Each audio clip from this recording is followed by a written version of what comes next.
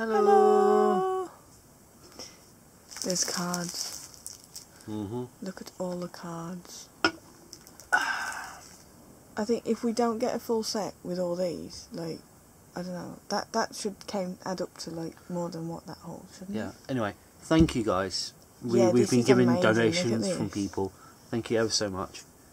This Um, is brilliant. Look at all the cards. Yeah. Right, should we get into it? All the cards. I'll open. Okay. Yes, I just keep looking at the cards. You're almost I'll get the book ready. you're almost wants already to into a look. the video. then we've got Vampire. Number 29, Vampire. The Oh, are you going to read it? The and I'll find vampire only has a, his loyal bat for a friend. Everyone else finds him a bit of a pain in the neck. Ah, we got him. Ah, we got him. Bye bye. Double! Oh, next one. Evil Wizard. I don't think we've got this one. I don't think we- Evil Wizard has a bad rep. He's more angry. Despite all of his magical powers, he can only make hair grow on the underside of his head. Ha ha ha. Oh. Oh. And that's 77, which links to printing press.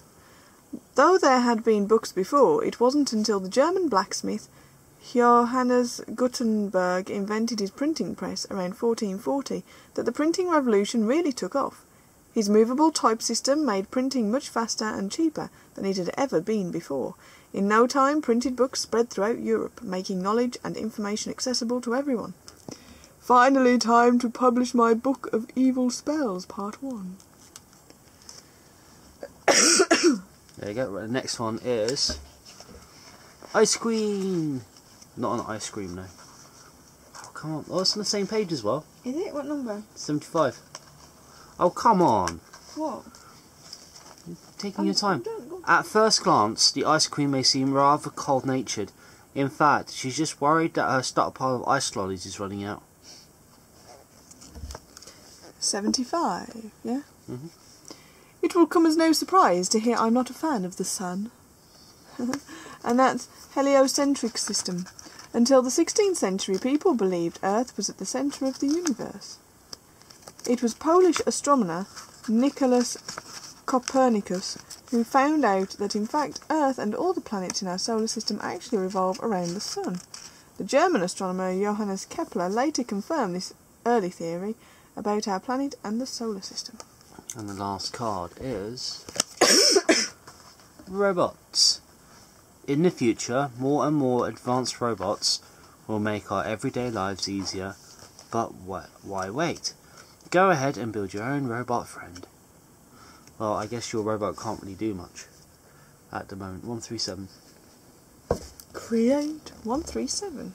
Did you know another futuristic vision that is slowly becoming reality is self driving cars? A lot of car companies have already tested vehicles with autonomous driving, but it is not clear when these cars will be allowed onto the road.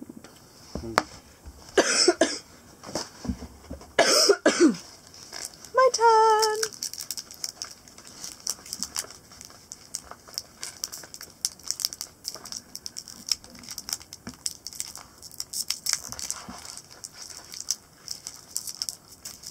Ah!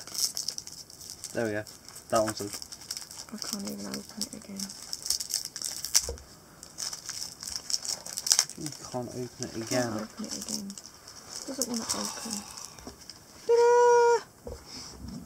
Number 14. Scarecrow.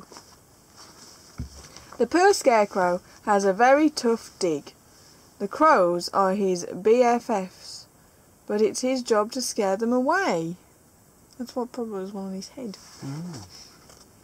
So, number 14. Ugh, there we go. It says, maybe a bit of lipstick would make me look less scary. Oh, So, which one make which one links that to this one because it's 14 So it's makeup, orange. yeah. So makeup. Humans have been using makeup for thousands of years.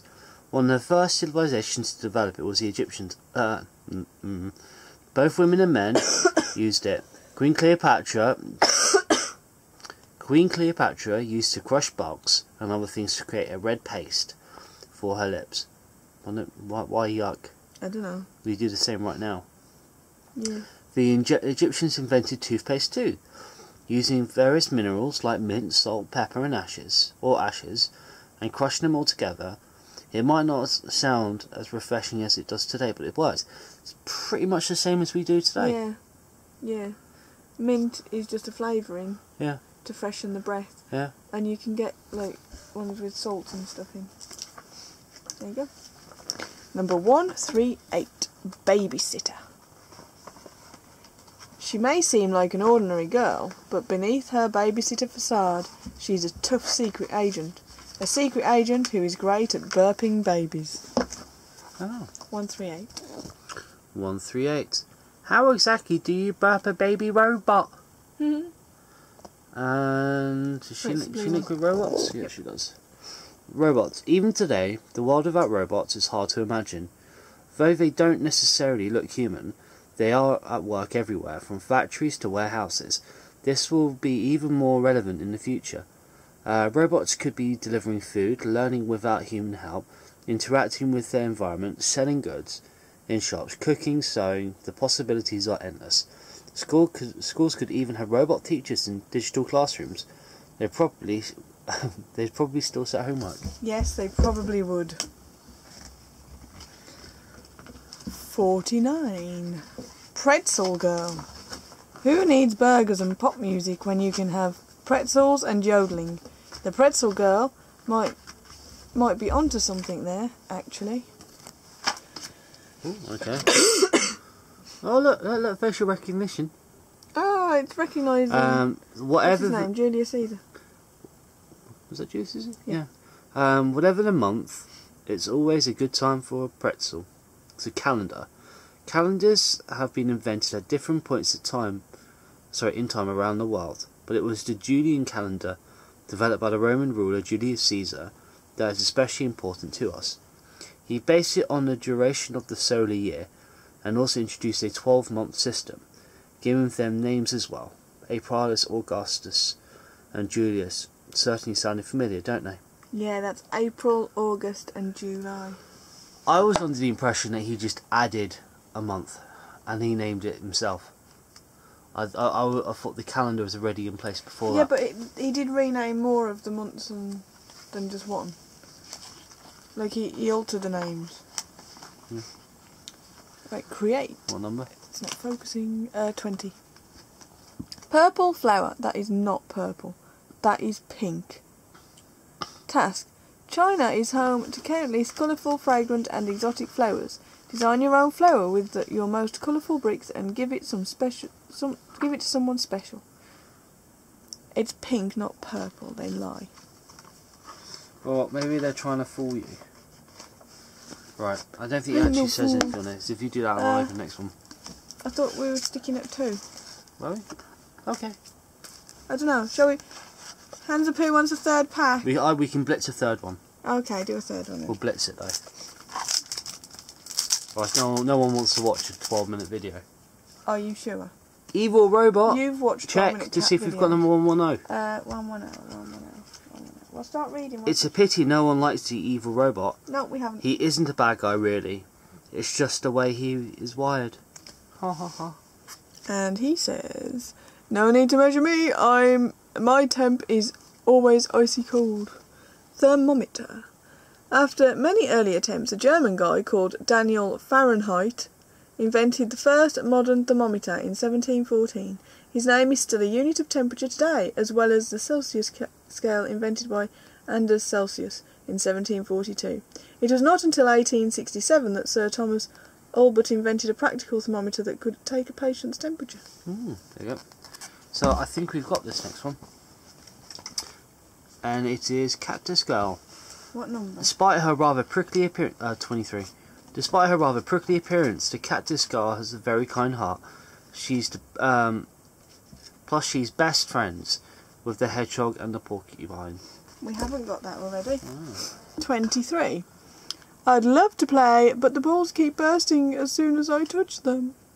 Football. Modern football is hardly a century old, yet traces of the world's favourite game date back way further. Originally used in military chain- training in China more than 2,000 years ago, it slowly but steadily evolved into what we know as football.